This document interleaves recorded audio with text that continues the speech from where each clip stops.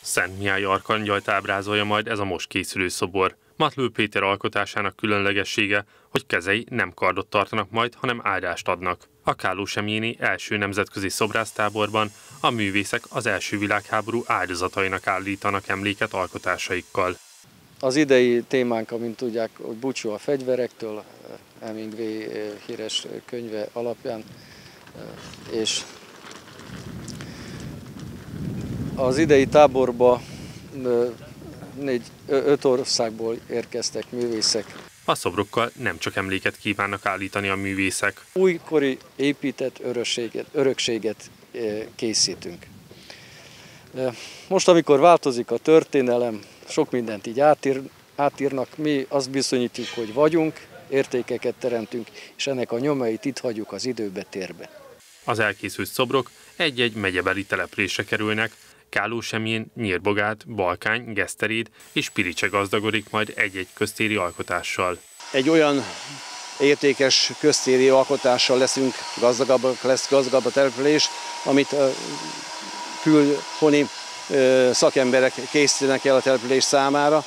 Köszönjük szépen a, ezt a kezdeményezést is, és ezt a lehetőséget, hogy, hogy ilyen kültéri szoborral gazdagabbak lehetünk, illetve őrizhetjük azt, amit a település régóta is őriz, hogy fegyvermentesen, békességben, biztonságban élhessünk, és ezt fogja kifejezni ez a köztéri alkotás is.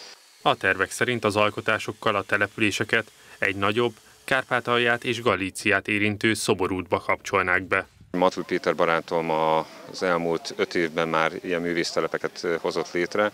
Ott egy szoborút kezd kibontakozódni, több mint 21 szoborral, és szeretnénk ezt a szoborutat összekapcsolni Kárpátaljával. Ezáltal egy majd 400 kilométeres szoborútat szeretnénk létrehozni a következő évek folyamán. A Káló Semjéni művésztábor egy széles körű programnak köszönhetően valósulhatott meg. Ez egy nagy tíztelepüléses szociális szolgáltatás fejlesztési pályázat Isten igazából. Egy emberi erőforrás támogató program, amiben tíz település van benne, és ez 500 millió forintot céloz meg a településeken, de itt mindenféle szociális szolgáltatások és rendezvények vannak, és itt, ill, itt illeszkedik ez a programban. Kálósemény mintegy 70 millió forinttal részesedik ebből az 500 millió forintból, és ennek egy nagyon picike kis szelete ez a szobortábor. A szobrásztábor két hétig tart, ez idő alatt nyitott mindenki számára, ami azt jelenti, hogy a szobrászok koordinálása mellett bárki bekapcsolódhat az alkotások elkészítésébe.